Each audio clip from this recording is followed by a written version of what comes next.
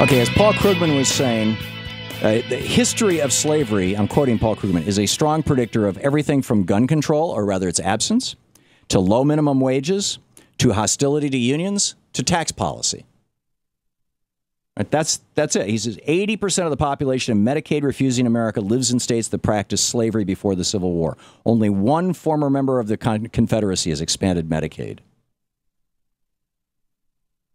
On top of that, you know, this is this this death cult has the reason that this death cult has been alive and well in the United States is because after the after the South lost the Civil War and slavery quote ended, there was a about a 10 year period called Reconstruction where Actually, African Americans were elected to public office. They took, in fact, I think they took a majority of the political offices in South Carolina, where they were a majority of the population.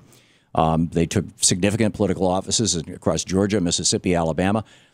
And, and then Rutherford B. Hayes, in order to get elected president, made a deal with the South, which was occupied by the Northern Army.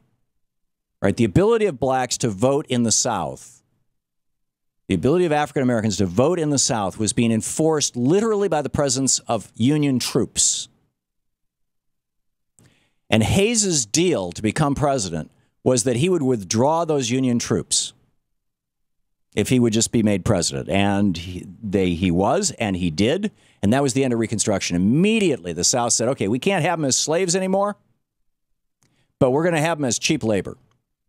And the South has been the cheap labor South ever since and all the stuff that goes with it. It's a cult that suggests that some humans are of greater value than others, some are less of lesser value than others, based solely on the amount of pigment in their skin, of melanin in their skin. This is insane. I mean, you got like Congressman Steve Scalise, the third most powerful Republican in the U.S. House of Representatives. He's the House whip. He's the Republican Party's whip. He's the he's he he he he, he works under uh, Kevin McCarthy and John Boehner. He ran against David Duke down in Louisiana, and and what he said was the novel, and I'm quoting. He said he embraces many of the same conservative views as David Duke, but is far more viable. That's not a quote. He's, here's the exact quote The novelty of David Duke has worn off. The voters in this district are smart enough to realize that they need to get behind someone who not only believes in the issues they care about, in other words, the David Duke issues, but can also get elected. Duke has proven that he can't get elected, and that's the first and most important thing. In others, vote for me. I'm not identified as a crazy, although I still believe all this stuff. This is the third most powerful Republican in the House of Representatives. This, this is the Southern strategy on steroids. This is how the Republicans took the South.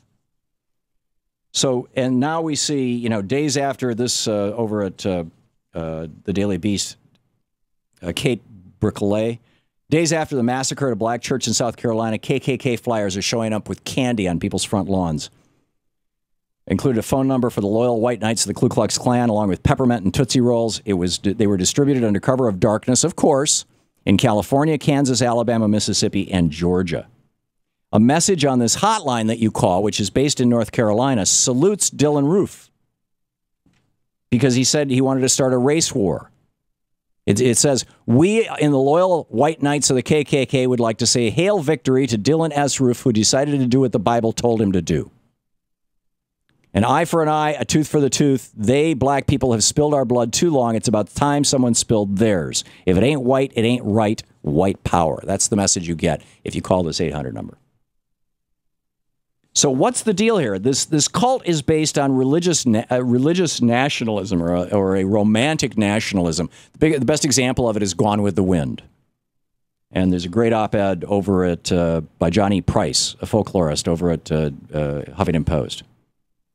And he says, okay, let's take on these revisionist talking points. He's, there's this lost cause narrative that the Civil War was a romantic struggle for freedom against an oppressive government trying to, trying to force cultural change.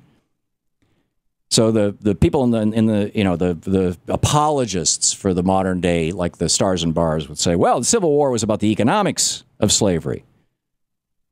Excuse me, the Civil War was about economics, not slavery. Well, no, the, the Civil War was actually about the economics of slavery. They'll say the Civil War was about states' rights, not slavery. Well, mm, yeah, the Civil War was about the states' right to maintain slavery. They say it's not. That's not the Confederate flag. True, it's a battle flag. It's it's a banner under which men fought and died to enact secession and defend slavery. Then they say heritage is not hate. And he says this is this is a funny story. Her- the heritage is hate. Yes, Senator, it does represent one side of the Civil War. That side, he's talking back to Lindsey Graham, that side that advocated slavery and secession, it's a flag of treason. Mike Huckabee gave a speech to this group. They've killed more people. These, these folks have killed more people in the United States, these you know, conservative citizens, than Al, than Al Qaeda has since 9 11. So, how do we break the hold of this cult?